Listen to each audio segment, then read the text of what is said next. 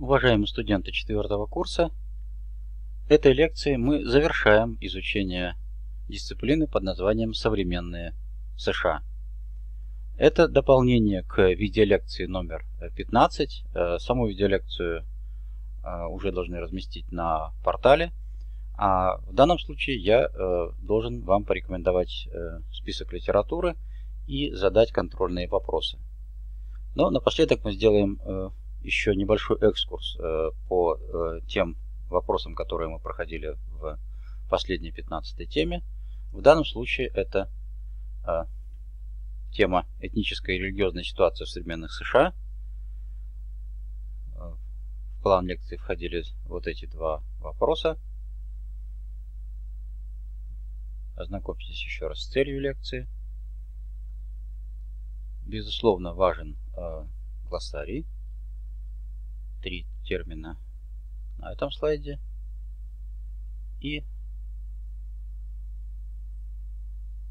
пара на этом слайде, очень важных. И еще три а, слайда, связанных с протестантизмом и различными его разновидностями, в том числе лютеранством и квакерством. А также очень важна вот эта статистика, вам э, необходимо запомнить э, вот эти данные в процентах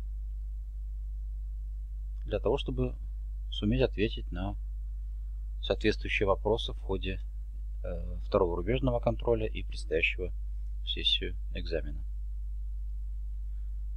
Также вот эта статистика очень важна по поводу расовой этнической принадлежности американцев.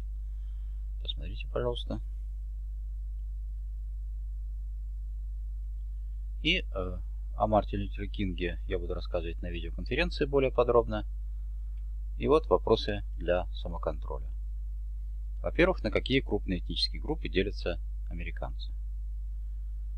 Второй вопрос. Представители какой религиозной конфессии наиболее многочисленны в масштабах страны? Третий вопрос. Кто был единственным президентом-католиком в истории страны? Мы об этом говорили еще в лекции, посвященной Институту президента в США. Четвертый вопрос. Какова религиозная ситуация в современных США? И последний, пятый. Что означает понятие толерантность применительно к этнической и религиозной сфере в Соединенных Штатах Америки? И э, вот вам список основной литературы по данной теме. Обращаю внимание на монографию Нитабурга.